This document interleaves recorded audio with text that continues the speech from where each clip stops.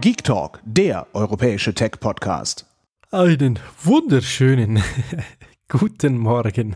Heute am Freitag, der 19. Mai 2017. Ihr hört die Geek Talk Daily 121 und ich, Martin Pogipsi-Rechsteiner, habe die folgenden Themen mit für euch. Der Tagtraum geht weiter.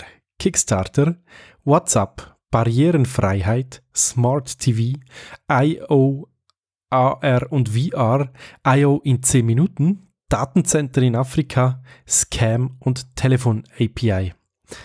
Beginnen wir doch gleich mal bei Samsung oder Google besser gesagt, denn der Tagtraum, wie schon gesagt, geht weiter. Daydream, das ist ja die Google-eigene Lösung für virtuell angereicherte Realität. Das äh, kommt langsam vielleicht doch ins Laufen. Zumindest an der ähm, MWC haben wir ja festgestellt dieses Jahr, dass das Ganze doch nicht ganz so läuft, weil sehr wenig Telefone da Unterstützung bieten. Jetzt ist bekannt geworden, dass das Samsung Galaxy S8 zum Beispiel ab dem Sommer auch die Möglichkeit bekommt. Da ist nur noch ein Software-Update nötig. Da wäre ja die Hoffnung, dass das bei anderen Geräten auch der Fall wäre, wenn sie dann wollten. Mal schauen, wie lange da noch geträumt wird. Kickstarter, eine Plattform, die mich immer wieder viel Geld kostet, ist äh, jetzt auch in Japan angekommen. Das ist für euch vielleicht nicht so relevant, zumindest jetzt gerade nicht, weil die meisten von euch wahrscheinlich nicht da drüben wohnen. Aber man weiß ja von den Japanern, dass die ganz, ganz verrückte und coole Ideen haben, auch was Gadgets anbelangt.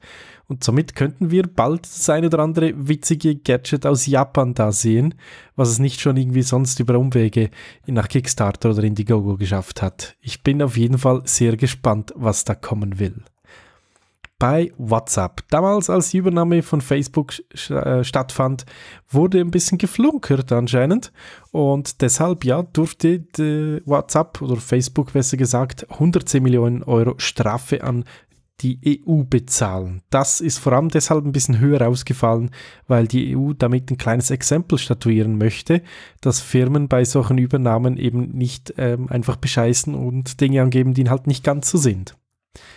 Marketing, Werbung, das hat Apple im Griff, wie keine andere Firma.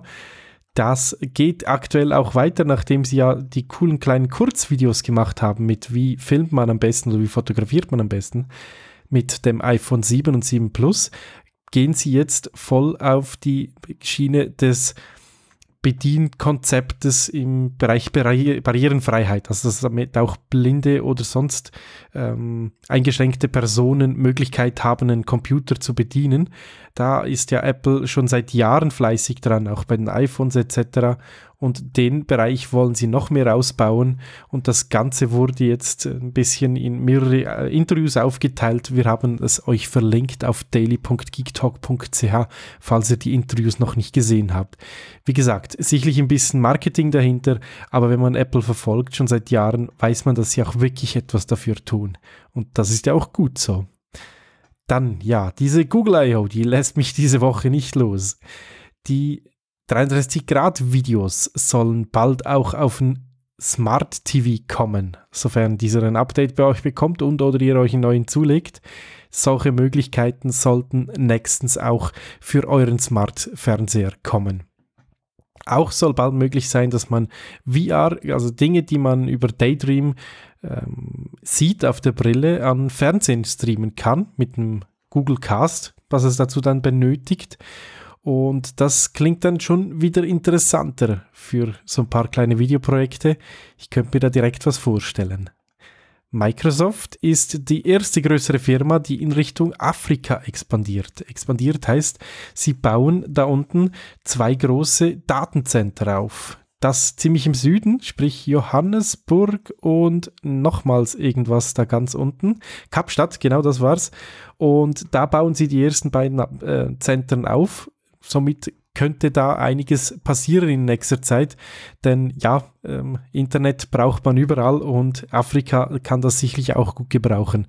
Eigene Cloud-Dienste, die im eigenen Land sind oder auf dem eigenen Kontinent, ist sicherlich auch nicht die falsche Geschichte. Schnelle Anbindungen, solche Themen, was da alles mit einfließt. Support Scam. Ich kenne es zum Glück nicht, aber habe schon vieles gehört und gelesen.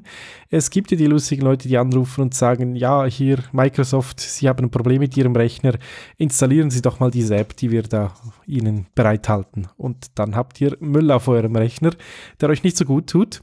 Gut, die werden das ein bisschen besser formulieren und verkaufen als ich jetzt gerade, aber anscheinend funktioniert das ziemlich heftig und eben auch gut und fleißig. Ähm, und da hat Microsoft ein paar Zahlen fallen lassen dazu. Was es da genau geht, das könnt ihr bei uns verlinkt nachlesen, ist ein Artikel von WinFuture. Dann sind wir nochmals bei Microsoft und Windows 10 und das ist mein letztes Thema für heute, genauer gesagt mein letztes Thema für diese Woche. Ich bin wieder traurig wie gestern, obwohl ich jetzt lache, doof. Aber ja, Microsoft entfernt die Telefon-APIs aus Windows 10. Es wurde schon angekündigt, dass das Fall-Update, was im Herbst kommen mag, nicht für die Smartphones ausgerollt werden wird. Und auch der Tenor, dass quasi Android und iOS aktuell im Fokus liegen, weil da halt einfach die Masse ist. Und vor kurzem habe ich ja auch schon mitgeteilt, dass der Joe Bella Fiore ähm, meinte, das sei nicht ganz so, aber jetzt schaut es doch ein bisschen anders aus. Ich meine, wenn die Schnittstellen fehlen, dann kann man auch nicht, sagen wir jetzt irgendwie einen Convertible oder so, mit einer mobilen SIM-Karte ausstatten, weil das funktioniert dann halt einfach nicht. Sehr, sehr traurig, unschön. Ähm, ich hoffe, da ist ein Fehler passiert. Ich glaube ja immer noch an dieses Windows Phone. Aber ja, Hoffnung stirbt zuletzt. In diesem Sinne, ich hoffe, ich habe euch diese Woche wieder mal gut unterhalten. Nächste Woche haben wir wieder jemand anders für euch. Wer ist dran? Der Achim, glaube ich. Wenn ich nicht ganz falsch liege. Ansonsten Sonntagabend geht ein, äh, ein Tweet raus. Da steht es dann drin, wer das für euch verantwortlich ist. Und ja, ich bin dann mal ein paar Tage weg, sprich also, äh, in Richtung Barcelona. In diesem Sinne, euch einen wunderschönen Tag. Genießt diesen letzten Arbeitstag noch und dann danach das Wochenende. Das Wetter soll ja wieder besser werden. Oder war das jetzt nur in Barcelona? Ich weiß nicht. Euch einen schönen Tag. Euer Pokipsi. Tschüss. Hört mehr Geek Talk.